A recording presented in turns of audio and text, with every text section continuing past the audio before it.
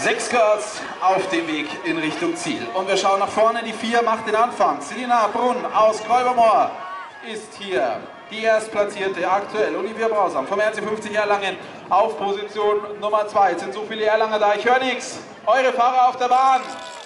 Vorne die vier, die Selina.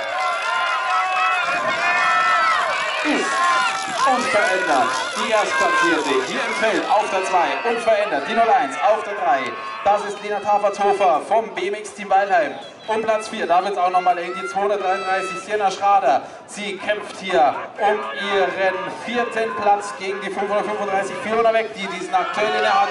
Und die letzten Meter sind hier eingebrochen und gut schaut aus für die Fiona aus Herzogenaurach für ihren Platz Nummer 4.